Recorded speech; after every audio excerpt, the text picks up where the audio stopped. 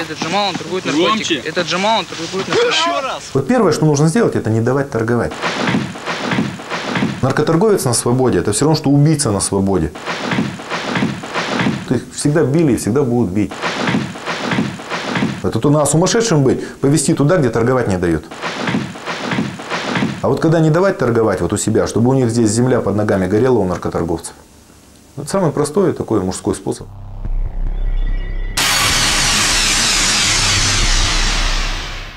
Я хочу рассказать о себе и о том, как живу в своем мире, где нет места кричащей толпе, как в убогом дешевом трактире. Я хочу рассказать вам о жизни, о дороге, ведущей к могиле, и о том, как по этой дороге прошагал я немалые мили. Я вступил на нее лет в 15 или в 16, точнее не помню. Только помню, кричали «Останься!» «Не ходи!» говорили «Опомнись!» Но не слушал я их уговоры, шаг за шагом от них удалялся.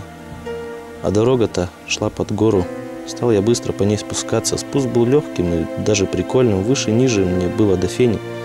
Шли мы весело с другом гашишем, теребя чудной травки веник. С героином три года под гору шагал я, и ноги устали совсем у меня. Только тогда начал то понимать я, что у меня пропадают друзья. И тут я увидел могилы. О боже! Я понял, какой у дороги конец. Если сейчас же не развернуться, я тоже практически не жилец. Я начал сбираться обратно на гору, цепляясь за камни, срываясь порой. Но главное, путь мой под гору прервался. Я все же надеюсь вернуться домой. Я оглядываюсь сейчас я, посмотрев на кровавые лужи. Понимаю, нет большего счастья, чем быть просто кому-то нужным.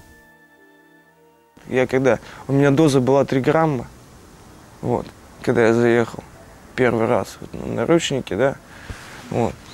У меня доза была 3 грамма, я был на кумаре, да, но я не чувствовал. Просто не было сна, да и все. Потому что, знаешь, никуда не убежишь, никуда не денешься. Все, ты здесь, вот на своем шканаре.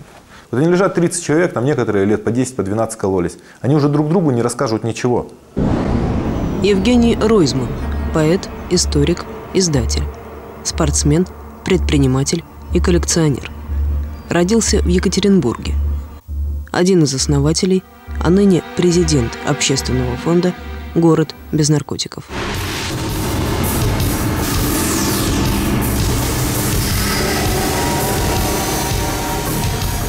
От ломки еще ни один человек не умер. Ломка – это показательные выступления для родителей и для окружающих. Вот они родителям могут там показывать, э, как они грызут ножки кровати, там, как их корежит, ну, крючит всяко. А друг другу-то что, они, они уже ничего рассказать не могут. И лежат как зайки, и терпят, как миленькие, и, и ни с чем еще ничего не случилось. Ни одной таблетки не потратили. В первое время, конечно, тяжело был, немножко в шоке от всего этого, потому что, ну что дома, я там тяжелее ручки ничего не держал, а здесь приходится все делать. Ну, в принципе, я доволен, потому что такая жизненная школа. В армии не был, в тюрьме тоже. Да, это жестоко, но это работает. Вот здесь я не колюсь больше всего времени. Никогда не, не было такого, чтобы я больше трех месяцев не кололся. Не было такого просто. У меня были, да, ремиссии там месяц, два, три максимум. Все. Вот у кого не хватает силы воли, они сбегают сразу же практически после наручников. Или на второй, на третий месяц. Потому что работать тоже человек устает. Кем я там? И строительным, и лесорубом, и, как говорится, и печь топил, и кочегаром был, и ночным дежурным. Чем же он будет доволен, когда... Как ему будет нравиться фонд, если ему не дают колоться и заставляют работать? Конечно, плохо, ужасно. Но через полгода в голове что-то меняется, и все начинают понимать и помогать. Срок реабилитации в фонде «Город без наркотиков» – один год. На наручниках, хлебе и воде – 21 день. Потом общественно полезный труд. Ежегодно в стенах центра лечится порядка 180 наркоманов. То, что у них каждый год, как бы они говорят, 12-14 человек их выпускников, которые там лечатся и в данное время занимаются общественно полезными делами, я ни одного такого человека не встретил.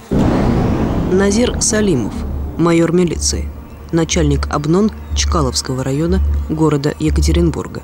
По официальной статистике, Чкаловский ОБНОН – одно из самых результативных подразделений милиции по борьбе с незаконным оборотом наркотиков. То, что они в данное время занимаются лечебницы, я думаю, что это незаконно, это ну, нигде, ни в одной нормальной странах это не принято.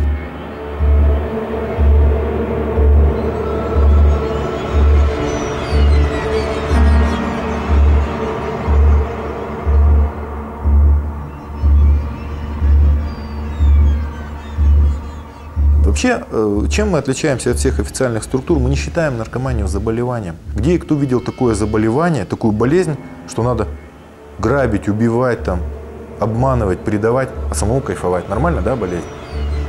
Вот. Это не болезнь, это образ жизни, распущенный, все что угодно.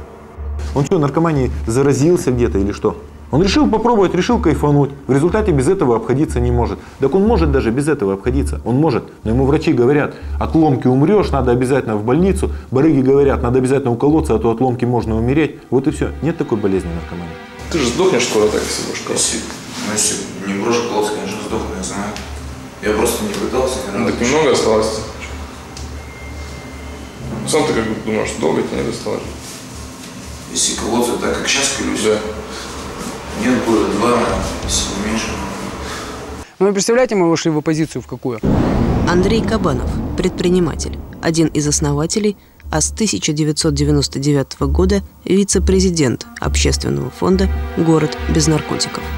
А Мы показали э, гнилость, э, допустим, судейской системы, гнилость правоохранительных органов. Да, ведь бардак творится, правильно? В нашем городе торго- не торговал только ленивый. В цыганский поселок невозможно было зайти, потому что наркоманы ходили толпами. Им было наплевать на всех. Вот они ходили, искали наркотики.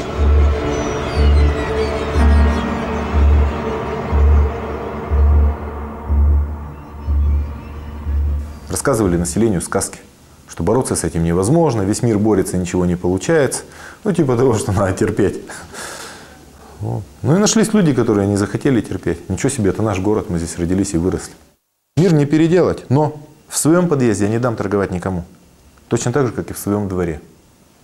Понимаешь? А если все мужики будут так считать, то э, любой город можно очистить. Слышь, выходи давай, а? Там ворота выдернуть. Слышь, мужика позови. Позови, кто там. Слушай, А это кто у тебя, Коля? Э, ты, иди сюда. А это просто охранники. Охранник у тебя, да? Вот слышь, мразота, еще раз отсюда слушайте, хоть... слушайте внимательно, Вы блядь. слушайте внимательно. Вот еще раз отсюда ты хоть грамм продашь, Ночью. вот хоть деца, выхарим. Ты понял меня, нет? Ничего дома не останется. И всем передай другим, кто будет торговать, выхарим. Плохой попутчик злость вот это, да? Потому что тем, чем мы занимаемся, нужно немножко заниматься хладнокровно, но все иногда эмоции переполняют, потому что на самом деле э, иногда бывает бессилие, что вот это все творится, да, и ты ничего не можешь сделать. Вот это самое страшное. Хотя сейчас много людей, которые эту проблему поняли, которые помогают искренне. Люди звонят просто по телефону 002, пейджинговую компанию, сбрасывают пейджерное сообщение. То есть, где большие скопления наркоманов, потом вот эта программа запускается, она сама рассортирует сообщения, которые приходят, база накапливается, просто потом можно делать выводы. Вот э, цвет красный, желтый и белый. Год не было сообщения. Красный это интервал 3 месяца, желтый полгода. Если масштаб поставить. То есть видно просто, что они точки-то кучкуются. То есть просто барыга, по-русски говоря, привозит героин и потом через бегунков распространяет. Все. И вот этот куст. То есть один человек завозит, нескольким человеком раздает, они от него торгуют. Вот и все. То есть если здесь барыгу просто закрывают, все белеет. Вот и все. Вот такое сообщение. Шмидта, дом называть не буду, потому что тут без квартиры. Крайний подъезд от улицы 8 марта. У подъезда постоянно торгуют сейчас. Человек 10-15 стоит. Ну, поехали, подъедем, посмотрим. Да я скажу, что нет. Нет, блин, не похоже. Вот этот дом 74 Здорово, вот это Лица, лица нельзя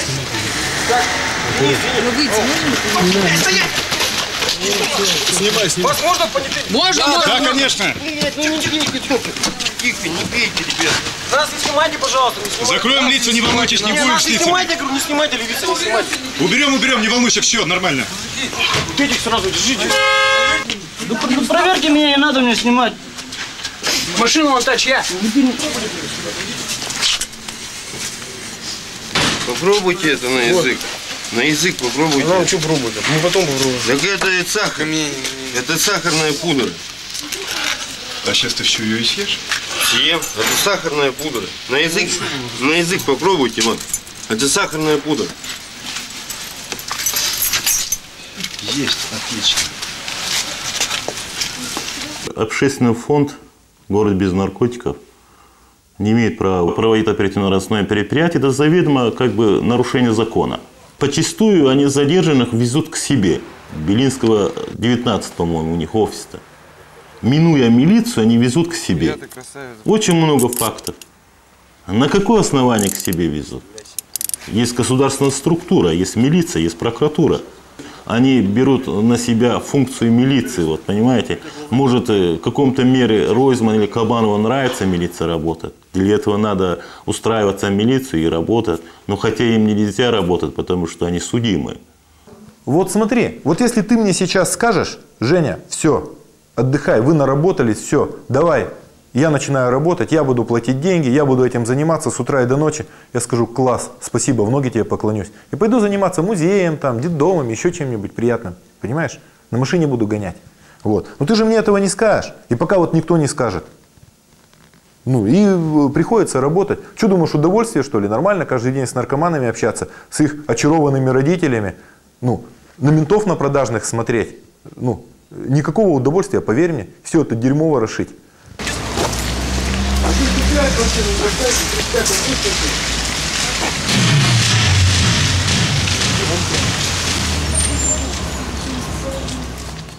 Закрыть?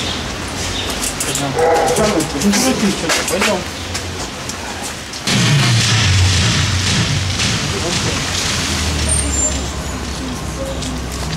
Тебя тюрьма, вот, что ты живой, тебя тюрьма спасала. Я сам добровольный, я думаю, сам не понимаю, что ли. Не надо сейчас добровольно, сейчас. Ты же укол-то сейчас, да? Как нет, как нет, тебя зрачков нету. Что ты обманываешь?